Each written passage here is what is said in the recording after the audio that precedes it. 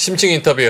아, 이제 부장님이 여러 가지 또 질문들을 날카롭게 해주시면 좋을 것 같습니다. 네. 오늘 ETF 관련해서 삼성자산운용 김도형 본부장님 모셔보도록 하겠습니다. 어서 오세요. 네, 아, 안녕하십니까. 안녕하십니까. 네, 안녕하세요. 아 오늘도 자켓 색깔이 아, 네. 저번에 봤을 땐 녹색이었던 어. 맞습니다. 기억을 예. 해주시네요. 예. 예, 제가- 워낙 강렬해서 네.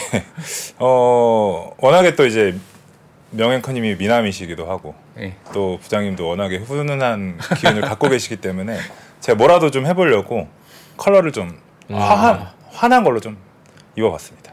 원래 자켓을 음. 저렇게 이제 파란색, 녹색 입기가 힘든데 네. 아, 소화를 하시니까 음. 그쵸 보- 보통 자켓이라도 이제 밤색, 뭐 아, 뭐 검정색 예, 뭐 예. 그런 것들 이, 있는데 네, 네. 파란색, 녹색 아, 뉴요커 같아요. 아유, 감사합니다. 유학파시죠? 아 완전 로컬파 로컬파입니다.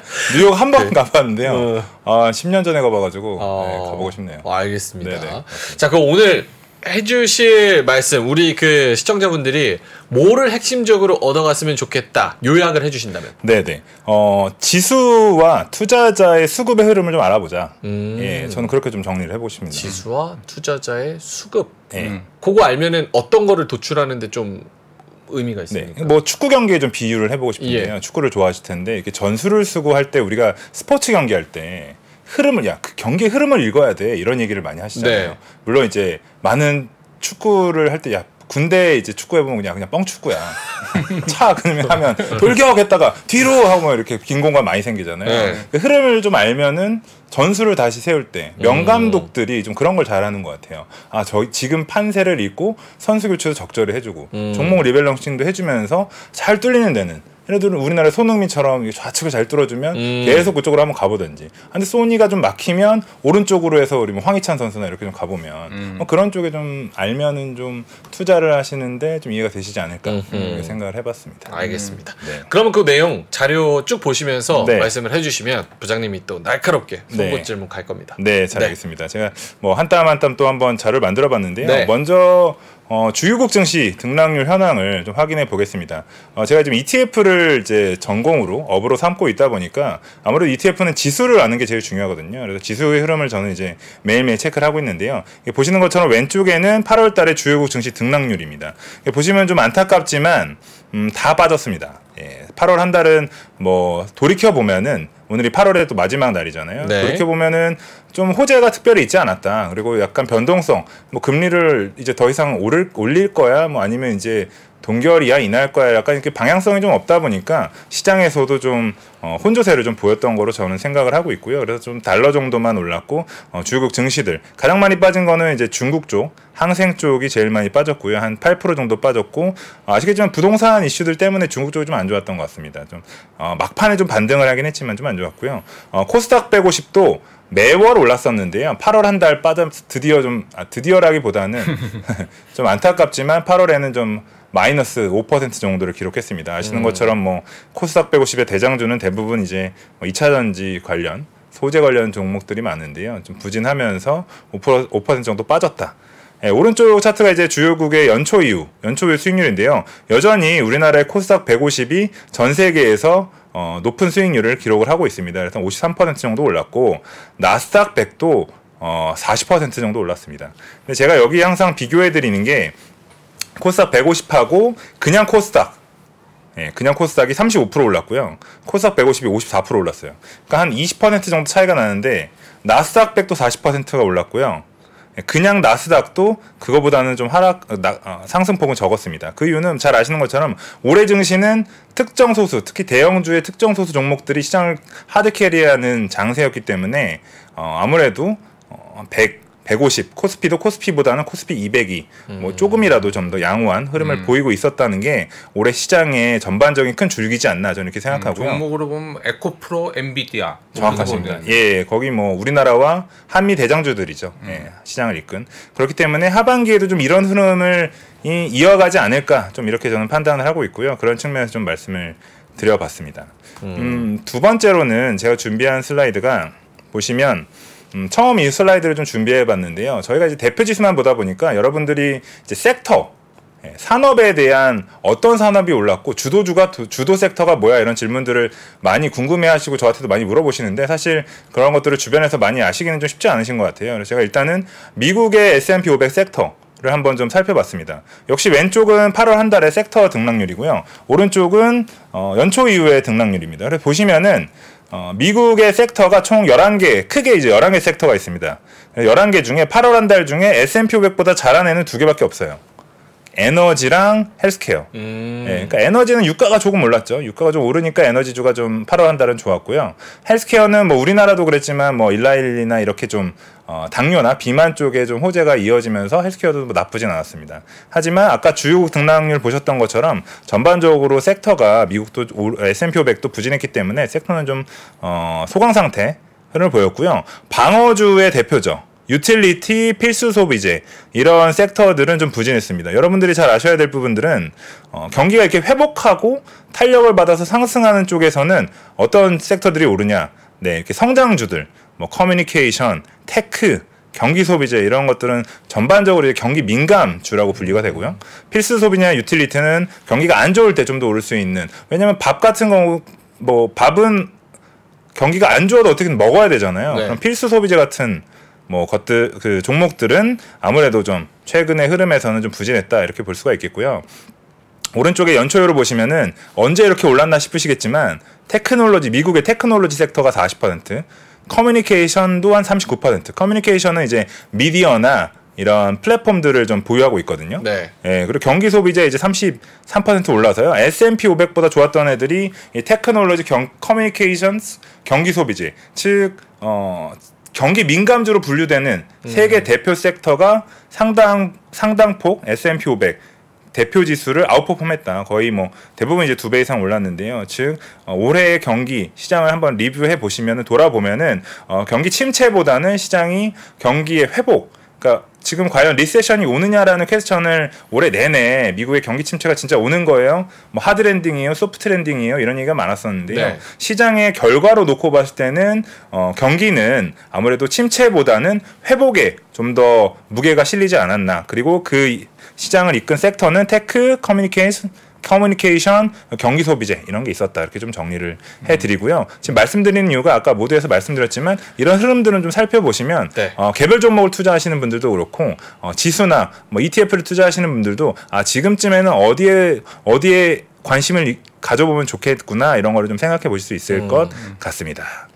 근데 여태까지 이제 경기가 미국 시장이 진짜 좋았었고 나, 나쁜다고 연초에 그 예측했던 사람들은 다 틀리고 좋았기 때문에 이제 상반기 동안에 뭐 유동성이든 뭐 경기에 대한 희망 네. 그런 것 때문에 많이 올랐는데 이제 항우가 문제죠 결론. 그렇죠. 이제 아까 연초부터 8월 말까지 이런 것들이 올랐는데 만약에 지금 경기 지표가 안 좋다고 이제 지표들도 나오고 있고 뭐 내일 또 고용 지수도 발표가 되고 그러면 그것도 잘 봐야 될 것 같아요. 맞습니다. 정말 중요한 포인트를 부장님께서 짚어주셨는데요. 그러니까 저희가 섹터를 이렇게 여러 개 만들어 드린 게 우리가 이제 섹터 로테이션이라고 하잖아요. 섹터의 순환매가 계속 일어나고 어, 말씀하셨듯이 고용 지표나 실적에 따라서 어떨 때는 tech가 갔다가 어떨 때는 바로 뭐 필수 소비재가 전환이 돼서 빠르게 이제 움직이는 시장들이 이럴 때 많이 보여지고 있거든요. 그렇기 때문에 이런 흐름들을 뭐 길진 않더라도 한 달 한달 체크해 보시면 좀 도움이 되시지 않을까. 근데 그 로직을 어떻게 가져가야 되는 거예요? 지금까지는 뭐 지금 아까 테크주가 올라갔다. 네. 근데 앞으로는 만약에 경제 지표가 안 좋아지면 사실은 그거는 금리 인하 기대감이라는 로직으로 또 이어지잖아요. 맞습니다. 그럼 금리 인하는 또 테크주들과 성장주들의 호재로 맞습니다. 이어진다고 하면 맞습니다. 오히려 이게 또 부러지는 게 그럼 테크주가 여기서 또 더 가는 것이냐? 맞습니다. 아, 되게 날카로운 질문을 해주셨어요. 아, 제가 그 질문 제가 정프로님 처음 뵀을 때 느꼈던 아 그래요? 그 소름을 어. 처음 뵈면서 또 느끼게 되네요. 그래서 아. 건강도 정프로님 따라가고 있습니다. 지금 제가 아, 예. 눈이 정프로님 답답해요. 아, 그 선글라스 쓰는 거야 또. 건강하게 회복하시기를. 네네. 예, 정프로님. 그 정말 중요한 질문이세요. 네. 그러다 보니까 어, 주요한 뭐 이제 글로벌 IB나 우리나라의 뭐 리서치 회사들이 발표하는 내용 중에 경기를 보통 이제 네 가지 국면으로 정리를 하잖아요. 네. 뭐 회복, 뭐 호황, 다시 뭐 꺾이고 침체 뭐 후퇴 뭐퇴뭐 recession 이렇게 침체라고 하고 다시 회복하고 이런 네. 한 경기 한 사이클을 보통 네 개로 하는데 그 사이클마다 과거에 한 몇십 년치의 데이터를 쌓아 보니 경기 회복기에는 어, 어떤 섹터들이 좋았다. 예를 들면 이런 뭐 테크나 이런 민감주들이 좋았고요. 네. 호황기 때쯤에는 이 섹터에서 어쨌든 호황은 가다가 다시 이제 침체로 꺾이는 턴어라운드한 고점이 있기 때문에 그럴 네. 때는 다시 좀 이런 헬스케어나 방어주 어. 쪽에 관심이 가져가고 더 빠질 때는 이제 뭐 자산 간의 교체도 있었고요. 음. 예를 들면 주식을 쭉 가다가 좀 침체할 때는 아무래도 좀 채권 자산에 대한 관심도 많아지는데 네. 두 가지 정도로 보시면 될 것 같아요. 말씀드렸듯이 이제 경기 국면이 어디냐라는 음. 거 같고 그거 이어서 금리를 이제 연준이 인하를 하게 되는 배경에는 사실 어, 정부가 정책을 판단할 때는 경기가 예를 들어 후퇴하는 것도 있지만 어, 경기를 좀 아, 후퇴할 때는 좀 부양하기 위해서 하는 것도 있고 너무 올랐을 때좀 톤다운 시키기 위해서 정부 정부가 이제 금리를 인하하는 경우도 있는데 우리가 금리를 인하한다고 해서 많은 투자분들이 연준이 이제 인하할 거야라고 하면은 여덟 번인 FOMC FOMC에서 지난번 이제 우리가 과거 코로나 이후에 계속 올렸듯이 계속 빠진다고 생각을 하시는 거예요. 음. 근데 사실 과거의 연준의 금리 결정을 보시면은 장기간 동안 금리가 횡보했던 적도 상당히 많았거든요. 그게 음. 낮은 레벨로 이제 제로 금리라고 하던가 아니면 이제 고금리 레벨이 있었던 적이 있었는데 금리라는 경 정책이 그렇게 가파르게 한 번 내리고 다음에 또 내리고 이런 적이 좀 많진 않을 수 있기 때문에 음. 그런 금리의 인하를 하게 되는 배경들을 좀 고려해 보시면은 음. 어떤 섹터가 좀 갈 수 있을지 이해하실 수가 있을 거라고 생각합니다. 네. 물론 좀 어려운 부분이긴 한데요. 예, 그런 부분들을 좀 이제 찾아보시면은 그렇게 나온 정리한 책자도 있고요. 음. 네. 저희 회사 홈페이지에서도 그런 것도 좀 정리해 놨으니까요. 음. 함께 참고해 보시면 좋을 것 같습니다. 알겠습니다. 네. 그 다음 자료는요? 네, 그래서 제가 몇 개 섹터만 좀 정리를 해 드렸습니다. 어, 테크놀로지 섹터가 뭐냐 이제 아실 거예요. tech, 아, 뭐 tech 너무 잘 아시죠? 그래서 보시면 어, 소프트웨어, 서비스, 하드웨어, 반도체 장비 등 뭐 첨단 기술 산업을 포괄하는 섹터라고 하죠. 그래서 특징을 보시면 아래쪽에 보시면 이제 왼쪽이 특징이에요. 그래서 S&P 500이 파란색이고 보라색이 이제 테크놀로지 섹터인데요. 보시면 이게 약간 이제 남자분들은 아실 텐데 이제 위닝이라는 축구 게임을 해보시면 네, 위닝 여러- 일레븐. 위닝 일레븐에 이제 능력치들 같은 거 보면 이제 뭐 음. 나와 있잖아요. 그런 것들을 저희가 좀 형성을 해봤는데 어, 테크는 시총이 큽니다. S&P 500 대비해서. 왜냐 종목이 보시면 마소, 애플, 엔비디아, 브로드컴, 어도비, 뭐 세일즈포스 다 아시는 빅테크들이 많이 들어 있잖아요. 그러다 보니 시총은 크고 당연히 변동성도 큽니다, 여러분.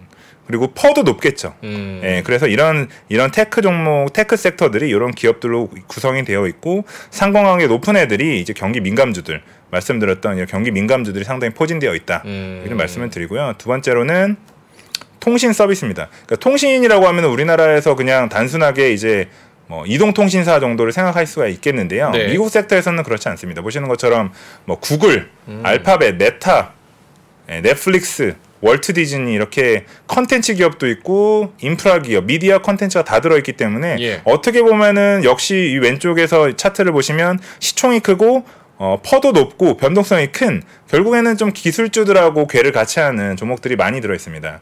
예, 그렇게 이해를 해주시면 통신 서비스는 되겠고요. 여기 오타인데 이제 경기 소비재, 경기 소비재는 이제 보통 이제 경기 민감 소비재라고 하죠. 네. 그러니까 돈이 좀 여유가 있을 때 사는 종목들이에요. 그러니까 나이키도 그렇고 홈디포, 홈디포가 이제 집을 꾸미려면은 좀 저희도 이제 인테리어를 이제 리모델링 하려고 그러면 돈이 좀 있어야 되잖아요. 음. 어, 배고픈데 이제 인테리어부터 할 수는 없잖아요. 그런 것들. 그리고 테슬라. 차도 마찬가지죠. 예, 이런 것들이 경기 소비재에 음. 좀 포함이 된다라고 이해를 해주시면 될 것 같습니다. 네. 그래서 이런 경기 소비재들도 변동성이 좀 크고 좀 민감한 소비재들이 있다. 그러니까 보시면 이제 맥도날드, 스타벅스도 아 나는 뭐 햄버거는 늘 먹는데 필수 소비재 아니야? 음. 뭐 스타벅스도 맨날 먹는 커피인데 좀 필수 소비재 아니야? 이러실 수는 있는데요. 뭐 사실 이게 안 먹어도 되는 거죠. 사실은 어떻게 보면 그렇게 이해해 주시면 좀 편하실 것 같긴 해요. 뭐 우리는 이제 한국 사람이니까 햄버거를 안 먹어도 되긴 하는데 미국 사람들은 뭐 햄버거를 뭐 매일 먹을 수는 있겠지만 음. 뭐 다른 대체들은 많으니까요. 아. 그렇게 좀 이해를 해주시면 좋을 네. 것 같고요. 예, 그래서 좀 설명을 드렸습니다. 그냥 필수 소비재가 아닌 그냥 일반 소비재들의 범위로 좀 해석을 하면 돼요. 맞습니다. 아. 예. 그 경기 소비재에서는 테슬라만 들어갔네. 그럼 자동차 업체들은 안 들어. 여기 보시면 이제 포드도 어, 포드도 네. 포드도 포드 있네요. 들어있고요, 아, 테슬라도 있구나. 들어있고 어, 그 이런 자동차 업체는 예 맞습니다. 여기 소비재구나. 섹터 두 번째 bullet point를 보시면 자동차나 가전, 의류, 호텔 체인, 레저, 음. 예, 이렇게 물론 생활에 밀접한 것들은 있긴 하지만 음. 그러니까 교체 주기로 생각해 보시면 좋을 것 같아요. 뭐 자동차도 사실 저도 자동차 되게 아직 오래 타고 있는데 음. 예, 뭐 돈 많이 벌면 이제 바꾸는 그런 섹터들일 수가 있겠죠. 음. 가전도 마찬가지고요. 음. 네. 이어서 이제 우리나라 섹터도 좀 말씀을 드리고 싶어요. 그러니까 이게 오늘 내용이 음. 약간 이제 어떻게 보면 이제 정보를 많이 좀 드리고 싶어가지고 예. 정의. 우리가 예. 뭐 무슨 섹터 무슨 섹터 이름만 네. 불렀는데 이게 또 어떤 게 어떤 것들이 들어 있는지. 맞습니다. 음. 우리나라 투자자분들이 사실 그냥 사실 이제 올- 올해 같은 경우에 특히 이게 몇 개 종목들만 막 가다 보니까 네. 사실 섹터에 대한 거를 어, 뭐 궁금해하진 않으세요. 음. 그냥 뭐 에코프로가 가면 그냥 간다 뭐 이렇게 하고 이제 섹터에 대한 공부 2차 전지에 대한 물론 많이 하고 계시지만 음. 그게 해당 섹터가 어딘지에 대한 것들은 사실 좀 놓치기가 쉬우셔서 네. 그런 것들을 좀 알려드리고자 자료를 좀 준비해봤고요. 그 양극화가 심해서 맞습니다. 정확하세요. 네. 예, 시장이 뭐 전반적으로 꾸준히 가는 그냥 모두가 가는 시장이면 음. 모두가 해피한 시장인데 그러지 않기 때문에 그쵸. 어, 예, 시장의 관심도 양극화되는 것 같습니다. 음. 그래서 올해 그 우리나라 섹터로 가보면 아무래도 우리나라께 좀 익숙하시다 보니까요. 우리나라 8월 달에는 반대로 필수 소비재가 상당히 좋았습니다. 어, 8.9%인데요. 우리나라의 필수 소비재가 왜 8월에 좋았냐? 여기에는 이제 중국발 훈풍이 좀 중국의 그 좋은 기운이라고 해야 되나요? 음. 어, 뭐 유커들이 다시 이제 돌아온다. 단체 관광. 예, 단체 관광 돌아오고 하다 보니까 그동안 눌려 있었던 뭐 아시는 것처럼 화장품, 뭐 호텔 예, 이런 종목들이 상당히 많이 올랐죠. 8월 한 달에 그러면서 좀 우리나라는 반대로 필수 소비재가 좀 올랐고요. 보험사들도 어 이제 미국의 금리 영향을 받아서 우리나라도 뭐 이제 어 금통위에서 뭐 동결을 하지만 이제 금리가 이제 계속해서 상단에 좀 있겠다 싶어 가지고 보험사들도 보험사들이 대표적으로 이제 금리가 높을 때 실적이 좋은 보험과 은행들이 좀 좋은 섹터로 분류가 되죠. 그리고 우리나라도 경기 소비재, 헬스케어도 좋았고 헬스케어가 이제 8월 한 달에 뭐 아까도 이제 뭐 그런 좀뭐 헬스케어 얘기를 좀 많이 해주셨었는데요. 네. 이렇게 하면서 역시 좀 좋은 흐름을 이어갔습니다. 어, 연초 이후로 보면은 이게 죄송합니다. 이게 다 오, 오타네요. 제가 네. 급하게 오늘 또 준비를 하다 보니까 이거 우리나라 섹터, 우리나라 거. 예, 우리나라 아. 건데요. 예, 제가 또 이런 아 괜찮습니다. 인간미를 네. 좀 항상 네. 보여드리고 있는데요. 늘 예, 자료를 또 잘 만들겠습니다. 아니 괜찮아요. 말로 네. 풀어주셨으니까. 네네. 그 반도체 섹터가 아무래도 올해는 제일 좋았습니다. 그래서 음. 반도체의 섹터라고 하면 근데 이제 많은 분들이 우리나라의 반도체 섹터라고 해서 우리나라에 상장된 반도체 ETF를 투자하실 때 삼성전자가 들어있다고 생각하시거든요. 네.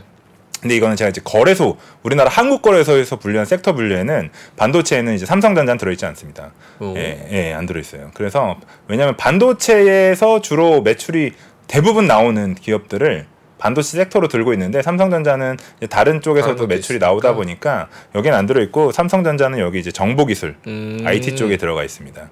보시면은 어, 반도체가 이제 하이닉스나 이제 SK 스퀘어, 이제 하이닉스의 지분 한 20% 들고 있는 SK 스퀘어도 많이 들어 있는데 네. 그러다 보니까 올해 같은 경우는 SK 하이닉스가 주가 어, 상승폭이 상당했잖아요. 50% 음. 이상 올랐는데 그러다 보니까 반도체 섹터가 되게 좋았고 기계 장비는 혹시 어떤 종목이 좀 들어 있을 거라고 생각하시나요? 기계요? 예. 기계 뭐 그런 그, 그 기계류들이라고 생각하시잖아요. 뭐, 뭐 기- 예, 건설 맞습니다. 기계? 예, 그런 것들도 있는데 가장 많은 게 이게 주- 주가 상승폭이 되게 좋았잖아요. 네. 52%. 어, 에코프로 BM이 들어 있습니다. 에? LG 에너지 솔루션. 기계 장비예요? 예. 그러니까 우리나라는 어, 이제 거래소에서 섹터를 종목을 정할 때 1년에 한 번 종목 교체를 하거든요. 9월에. 네. 예, 그리고 이제 보통 아까 말씀드렸던 아까 S&P 500 미국의 섹터도 사실 좀 올드한 그러니까 과거에 정해 놓은 어, 산업 분류기 때문에 어, 기존의 이제 산업에 대한 요새는 너무 빠르게 이제 좀 산업이 변하는데 그렇죠. 예, 그거를 좀 적시에 바로바로 반영하기는 좀 어려운 측면이 참- 있습니다. 참고로 저거는 한국 거래소에서 맞습니다. 기준으로 예. 선정돼요. 그래서 음. 어 기계 장비하면 건설 기계 뭐 기계인데 맞습니다. 아까 좀 LG 에너지 솔루션이 네. 들어가고 네, 네. 에코프로 네. BM이 들어가고 네. 음. 아무래도 이제 근데 한 한편으로는 이 이해가 되는 부분은 너무 많은 교체를 하면 또 투자자분들이 혼란이 있을 수도 있고요. 네. 지수는 사실 많아야 1년에 4번 변경을 하거든요. 음. 한번 정도 변경을 하고 그리고 산업이라는 거는 어느 정도의 시간을 좀 지켜보고 반영을 해야 되는 부분이 있다 보니까 기존에 분류되어 있던 분류되어 있던 산업 분류에서 그 종목들이 아직 그 섹터에 좀 남아 있어서 그런 차이는 좀 있다. 어 근데 건설이 의외네. 건설 의외시죠? 왜요? 건, 예. 건설이 모르는 게 없는데. 건설이 오른 게 없는데 예. 저기에 가장 대장주가 음. 포스코 퓨처엠 아. 과거에 기억나시나요? 포스코 건설에서 음. 예, 이게 이름이 계속 사명이 바뀐 다음에 이제 포스코 퓨처엠으로 갔는데 포스코 건설에서 사명이 바뀐 건 아니고요. 아, 예, 케미칼. 죄송합니다. 그러니까 포스코 그, 케미칼에서 예, 케미칼에서 바뀐 그때 이제 그 여러 가지 그 철강에서 보 철강소에서 보시면은 그런 고뭘 져주는 거 있. 네. 네. 어. 거기 뭐 이렇게 큰 용광로나 그런 거 져주는 네. 거를 포스코 케미칼이 했기 때문에. 맞습니다. 아. 네, 그래서 이제 건설로 들어간 맞습니다. 거고. 그래서 건설 어, 쪽 그리고 지금도 아직 포스코 건설이 있습니다. 있으시- 예, 있죠. 비상장으로. 예, 예. 음. 그럼 그러면은 퓨처엠 그 케미컬이 하던 거를 퓨처엠이 그대로 가져와서 지금 그 사업도 해요? 아니 사명을 사명. 바꾸니까 당연히 어. 하죠. 응. 아 당연히 하는 예, 거고. 사명만 바꿨습니다. 어. 포스코 케미칼에서 포스코 퓨처니까 사명만 바꿨으니까 어. 그, 뭐 그것도 계속 하죠. 와 그럼 진짜 포스코 퓨처엠 좋네요. 네, 근데 이게 재밌는 거는 전에 이제 사실 2차 전지 이제 포스코 퓨처엠도 그렇고 네. 주가가 이렇게 가파르게 상승은 얼마 안 됐잖아요. 네. 과거에는 이제 건설에 투자하시는 분들이 어왜 왜, 아, 2차, 전 2차 전지, 반대로 음. 죄송합니다. 2차 전지에도 이제 포스코 퓨처엠이 이제 많이 들어있는데, 네. 과거에는 이제 국내에 상장된 2차 전지 ETF들에 이 포스코 퓨처엠이 들어있었던 거예요. 음. 근데 이건 건설 관련주가 왜 들어있냐. 막 이제 항의 아닌 항의를 하셨었는데, 지금은 그런 건 싹 사라졌죠. 음. 예, 왜냐하면 워낙에 대표적인 2차 전지 종목이기도 하고 음. 주가 퍼포먼스가 좋았으니까 뭐 그런 근데 뭐 있습니다. 당연히 분류하는 그 내부적인 세부적인 내용은 알겠는데 일반 사람들이 생각하는 이미지랑은 얼추 맞춰줘야 되지 않아요? 맞습니다. 근데 이거는 뭐 아까 S&P 500 그 섹터도 보셨겠지만 사실 이게 얘가 왜 통신이야 그냥 테크놀로지 아니야 네. 이런 종목들도 많거든요. 음. 그러니까 좀 크게 분류하고 있는 좀뭐 거래소나 S&P 같은 큰 기관에서 분류하는 게 좀 쉽지는 않은 것 같습니다. 음. 근데 미국은 이제 통신 서비스 아까 얘기했지만 네. 원래는 구글이라든지 메타 같은 애들이 없었는데 네. 2018년인가 19년도에 포함시켜서 맞습니다. 그게 통신 서비스로 된 거잖아요. 맞습니다. 그래서 맞습니다. 그렇게 좀 유도리 있게 하면 어 맞습니다. 예, 음. 그 그게 자주 없- 못 자주 없어서 그렇지 부장님 말처럼 간간히 이제 음. 정말 필요하다고 판단했을 때는 시의적절하게 좀 결정을 하고 있고요. 그런 것들도 어, 우리나라 거래소도 사실 많은 아 고민을 하고 계시기 뭐 때문에 거래소에 그렇게 분류하는 거는 알겠는데 음. 그러면 ETF 설정할 때도 우리가 네. 뭐, 그뭐 건설 ETF 설정해도 거래소의 항목들로 그렇게 ETF를 설정하는 그렇죠. ETF는 지수를 그러니까 음, 액티브 지수를. ETF를 제외하고는 음. 일반적인 대부분의 패시브 ETF는 지수가 만들어 놓은 구성 종목의 비중대로 음. 편입을 하기 때문에 음. 그대로 가져간다고 보시면 될 것 같습니다. 아 그러면 건설 어 많이 건설 ETF 많이 올랐네. 그럼 포스코 푸치안 때문이구나. 그렇게 네, 네 좀- 그렇게 이해를 많이 해 주시면 좋을 것 같고요. 그래서 제가 좀 일부러 좀 말씀을 드렸고, 네. 뭐 이제 에너지 화학도 에코프로, LG 화학, SK 이노베이션, 뭐 이거는 에코프로를 제외하고는 좀 뭐 이노베이션이나 LG 화학은 원래 화학 회사니까요. 음. 예, 이해는 되실 것 같고 철강에도 철강도 사실 이제 33% 정도 올랐는데 철강의 이제 대장주가 어, 포스코 홀딩스입니다. 홀딩스. 예, 그러다 보니까 올해 또 포홀이 좀 포스코 홀딩스가 좀 상승폭이 좀 있었잖, 좋았잖아요. 그러다 보니까 뭐 섹터들이 좀 그렇게 보여졌다 음. 보시면 될 것 같고요. 여기 이제 사실 네, 그러면 지금 조- 종합을 해보면 반도체 뭐 빼고 기계 장비, 건설, 에너지 화학 여기에는 진짜 시장을 계속 상반기부터 지금까지 좀 주도했었던 그런 2차 전지 대세 종목들이 결국은 저기 쏠려 있었던 거다. 맞습니다. 아 대세주들이 나눠서 펼, 펼쳐져 있었구나.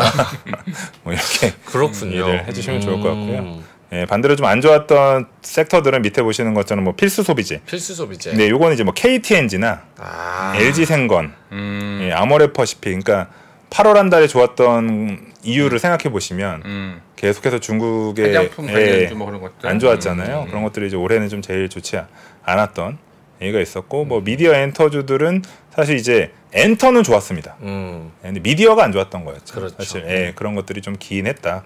이렇게 좀 말씀을 드리고 드리겠습니다. 음.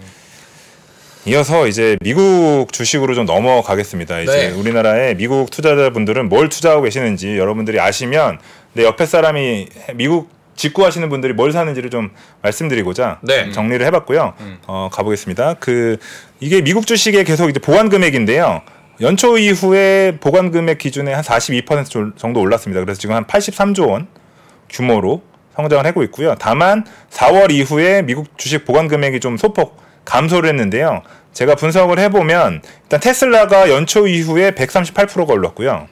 우리나라 분들이 사랑하는 세배 레버리지 반도체 세배 나스닥의 세배 음. 예, 그런 종목들이 거의 한 145% 올랐습니다. 어 그러니까 엔비디아 때문에 반도체. 예. 음. 그렇기 때문에 뭐 너무 많이 올랐죠. 음. 예. 그래서 차익 실현 매물이 좀 나오지 않았나. 음. 예, 좀 생각을 제가 분석을 해봤고요. 보관 금액 기준으로는 아, 뭐 엄청 많으십니다. 테슬라는 118.8조 원. 음. 우리나라 원화로 제가 환산한 건데요.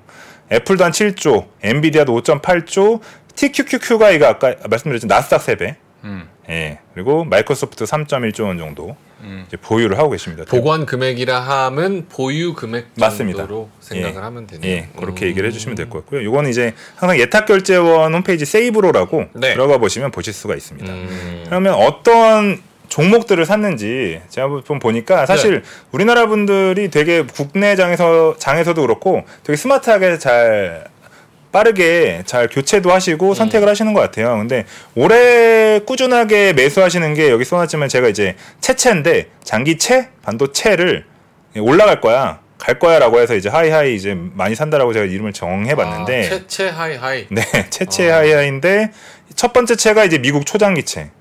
아시는 것처럼 뭐 금리 레벨이 지금 상당히 높잖아요. 30년물도 4.5% 가까이 갔었고, 음. 예, 5% 2년물도 이제 5%를 터치해서 이제 살짝 내려오긴 했지만 그러다 보니까 역사적으로 봤을 때 이거는 매매 차익을 내가 노리지 않을 이유가 없는 거예요, 이분들이. 그래서 사실 이거는 비단 지금의 모습은 아니고 작년부터 계속 이런 초, 미국의 초장기채를 매수를 하셨거든요. 그래서 그거- 1개월만 보면 안 좋았겠네요. 네, 그래서 연초율로도 사실 안 좋고 여기 보시면 수익률을 보시면 어. 이게 보는데 그냥은 안 하시죠. 제가 늘 여기 나올 때마다 네. 이, 이 종목을 언급드리는데 채권도 세배로 어. 음. 투자하시는 음. 예, 일일 수익률이 세배인데 어. 그게 이제 티커가 이제 TMF라고 해가지고 가장 많이 매수하시고 어 근데 이제 연초율로는 마이너스 20%. 어. 예, 8월 한 달도 뭐 금리가 올랐으니까요. 어. 예, 11% 정도 빠졌다. 신규 진입 아, 아 지금요? 매우 아, 요거는 그러니까 저는 이거 이거를 뭐 늘 이제 한방 투자 그러니까 한 번에 사는 투자는 당연히 권하지 아. 드리지 않고 ETF 측면에서 그렇고 분할 매수로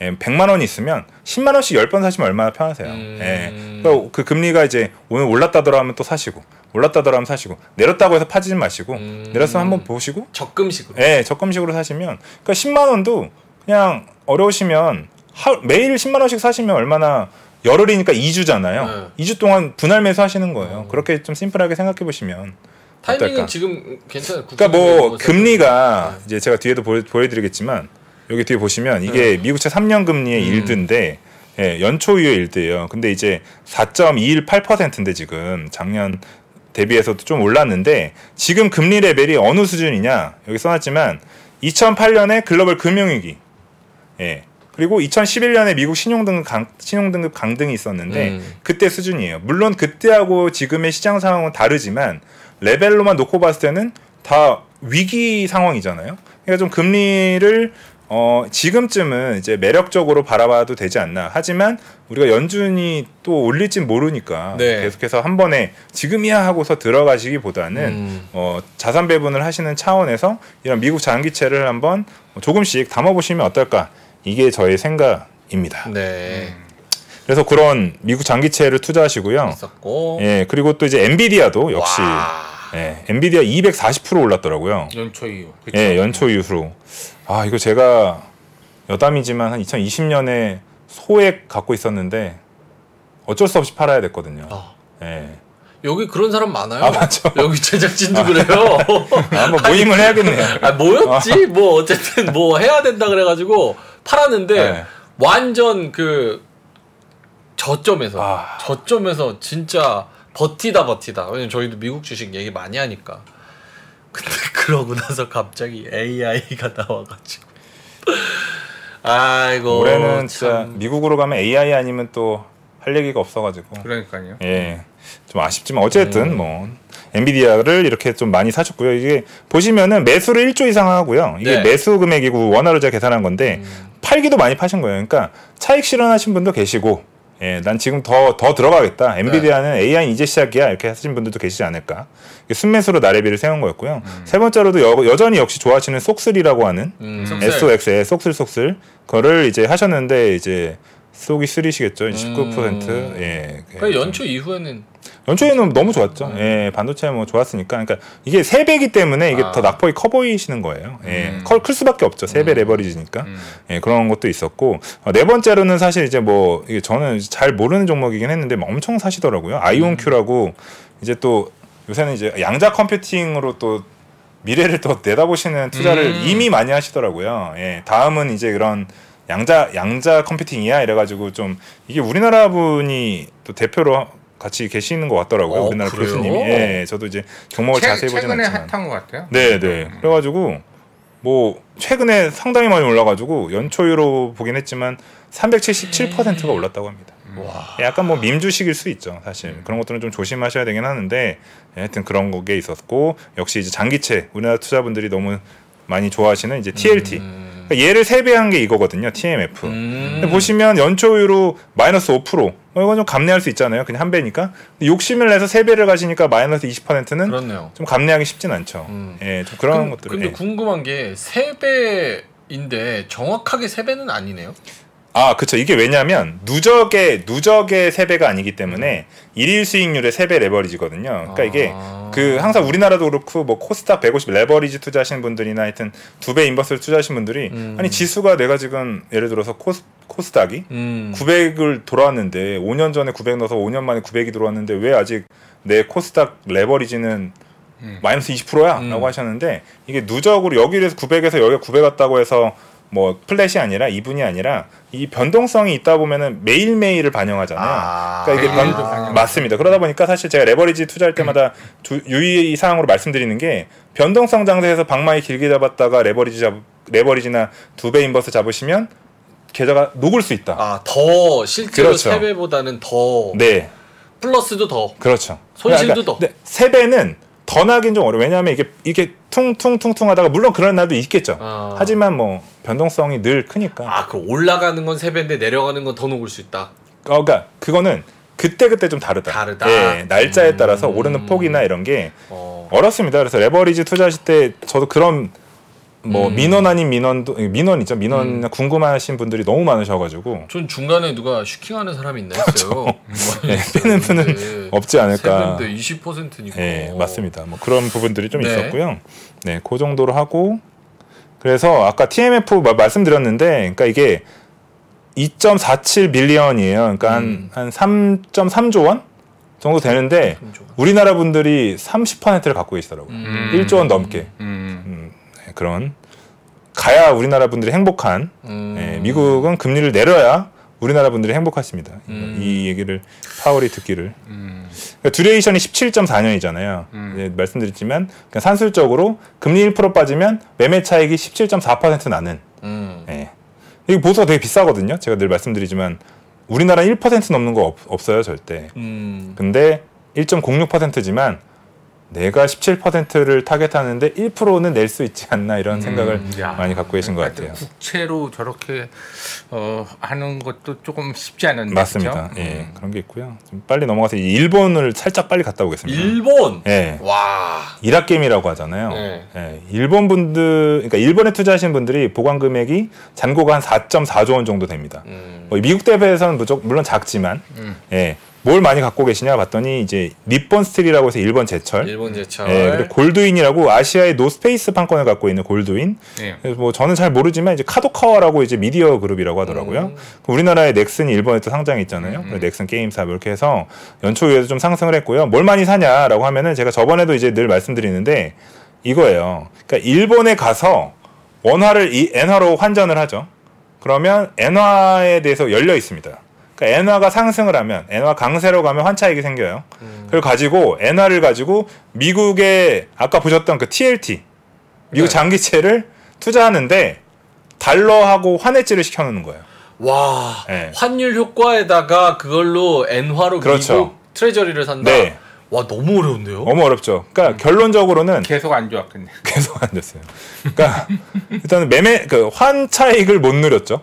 어. 엔화는 계속 좀 안 좋았으니까. 146인 예, 정확하세요. 제가 뒤에도 장표를 마련했는데 보시면 이 이게 이게 달러 엔인데요. 그러니까 지금 146엔 5엔 6엔 중 현재 146엔이에요. 네네. 근데 이게 어 여기 써놨지만 98년 우리 우리도 이제 IMF였지만 아시아 금융위기 있을 때 레벨이거든요. 그러니까 음.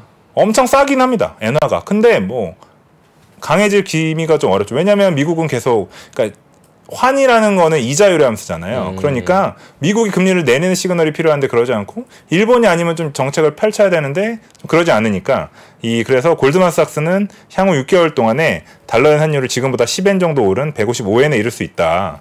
이건 이제 90년 1990년 이후에 가장 낮은 수준. 그러니까 미 일본의 그 거품 경제라고 하나요? 그게 이제 끝났던 이후에 가장 엔화가 낮은 수준이니까 사실 우리의 기대와 달리 이라게임의 기대와 달리 금리도 안 내려. 음. 엔화는 세, 어, 엔화는 더 약해져 하니까 좀 수익률을 보시면 좀 쉽지 않았다. 음. 예, 그래 하지만 어- 어쨌든 이 화냈지 않은 예, 미국에 투자하는데 화냈지 않은 상품. 미국 나스닥에 투자해도 난 화냈지 않은 해서 두 배 다른 거 먹을 거야라고 해서 가셨는데 뭐 금액은 크지 않습니다. 이게 억인데요. 음.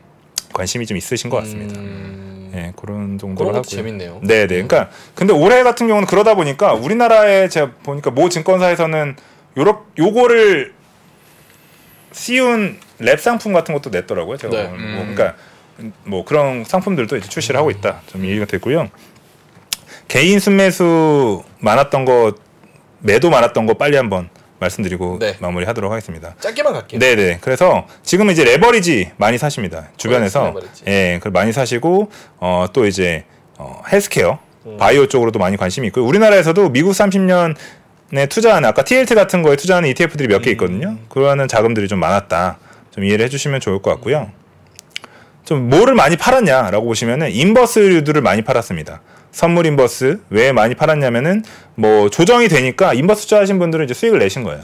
예, 그러다 보니까 차익 차익 매물들이 좀 나왔다고 저는 판단을 하고요. 우리나라 분들이 어, 많이 투자했던 중국 테마형 중에 차이나 전기차가 있습니다. 한때 이제 4조 원 가까이 자금이 모았었는데 아무래도 계속 이제 중국 쪽이 좀 부진하다 보니까 좀 실망한 분들이 좀 계속 이제 매도 세가 좀 나오고 있다. 음. 좀 이렇게 좀 분석을 하고 있고요. 어, AI 때문에 아까 말씀드렸듯이 나스닥이나 반도체 쪽도 계속해서 어, 차익 실현 매물이 좀 나오고 있다. 음. 좀 이렇게 말씀을 드리도록 하겠습니다. 음. 그럼 한 2분 정도 남았는데 네. 그럼 이제 뭐 남은 지금 9월, 10월, 11월, 12월까지 어느 쪽 ETF가 좀 핫할 것으로 네. 예상이 되는지 어, 되게 어렵지만 제가 아, 저희가 하반기 투자 키워드로 잡은 게 있습니다. 랠리라고 랠리. 예, 저희가 연초에 레빗을 잡았거든요. 올해가 토끼띠였잖아요. 네. 레빗으로 해서 여섯 개 잡았었는데 음. 한네 개 정도 괜찮았어요. 두 개는 안 좋았고 안 좋았던 게 이제 중국이랑 채권이었는데 음. 좋았던 게 이제 신재생 에너지, 어. 뭐 AI 반도체, 로봇 음. 예, 이런 것들은 좀 좋았는데 네. 랠리를 간단히 말씀드리면 R은 이제 똑같습니다. renewable 에너지, 신재생 아, 에너지고요. 신재생 에너지. 예. 그러면 뭐 2차 전지나 뭐 아까 말씀드렸던 뭐 풍력 관련한 친환경들도 있을 거고요. 친환경 선박일 수도 있고요. 음. 예, 그 A는 이제 AI와 로봇. AI 예, 로봇. 그러면 이제 반도체가 여러분들 아시겠지만 그냥 모든 반도체가 가는 게 아니라 AI와 관련된 반도체만 가잖아요. 네. 그러다 보니까 저희가 이제 아시아 반도체라는 ETF가 있는데 제가 일본이랑 대만 공부하니까 너무 재밌는 거예요. 음. 일본에 이제 여러분들 이제 아시듯 디스코라는 네. 반도체를 절삭하는데 글로벌 1위인 기업이 있는데 엄청 많이 올랐는데 음. 뭐 그런 기업들도 재밌고 아드반테스트라는 테스트 장비도 있고요. 음. 대만에 가면 반도체 fabless를 디자인해준 디자인 하우스가 있습니다. 음. 쉽게 말씀드려보면 포토샵 같은 거거든요. 그려움 제 사진 찍어서 네. 포토샵을 해가지고 너무 예쁘게 해주는 음. 그런 회사들이 몇 개 있는데 연결해주고. 알, 예, 음. 알칩이나 뭐 글로벌 유니칩이 있는데 그런 회사들이나 이름이 뭐라고? 알칩 A L 알칩. 예, C I C H I P 음. 참고로 일본에서 그 지수 중에서는 반도체 지수가 가장 많이 올라왔고 음. 맞습니다. 그 연초 대비 26% 올랐는데 반도체 지수는 그거보다 훨씬 많이 올라서 음. 맞습니다. 예. 예, 그냥 그런 일본도 지금 반도체들이 너무 좋으니까 음. 도쿄 일렉트론도 그렇고 예, 대만에는 또 ODM이라 그래가지고요 OEM이 아니라 ODM입니다. ODM. 그러니까 제조업자가 그러니까 구글이나 아마존이나 이런 서버 음. 만드는 서버가 필요한 회사들이 대만의 기술력 있는 기업들한테 얘기해서 나 서버 만들어줘. 그 대신 음. 부착은 구글로 붙이는 거예요.